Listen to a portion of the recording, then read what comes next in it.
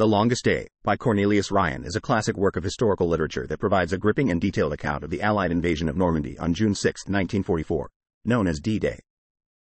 The book narrates the events leading up to and during the pivotal invasion, which marked a turning point in World War II.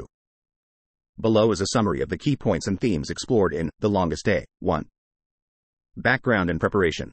The book sets the stage by providing historical context, explaining the need for a large scale invasion of Nazi occupied Western Europe to open a second front against Germany. It covers the planning and preparation of Operation Neptune, the code name for the amphibious assault on Normandy. 2. D Day, June 6, 1944.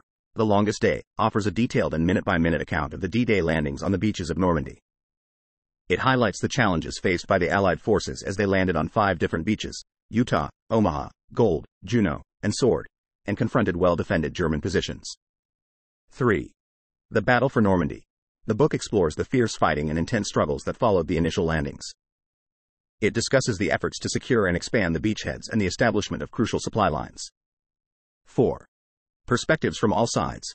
Cornelius Ryan's work provides a well balanced narrative by incorporating the viewpoints of soldiers and officers from both Allied and German forces.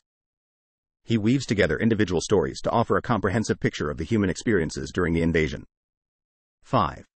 Leadership and decision making. The Longest Day delves into the leadership and decision making of the Allied commanders, including General Dwight D. Eisenhower, the Supreme Allied Commander, and the challenges they faced in coordinating a massive and complex operation. 6. Success and Sacrifice. The book highlights the bravery and sacrifice of the soldiers on both sides, acknowledging the immense toll that the invasion took on human lives.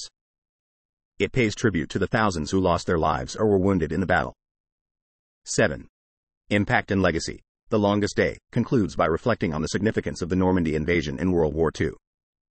The success of D Day led to the liberation of Western Europe from Nazi occupation and paved the way for the eventual defeat of Germany. In conclusion, The Longest Day, by Cornelius Ryan, is a compelling and meticulously researched account of one of the most significant military operations in history.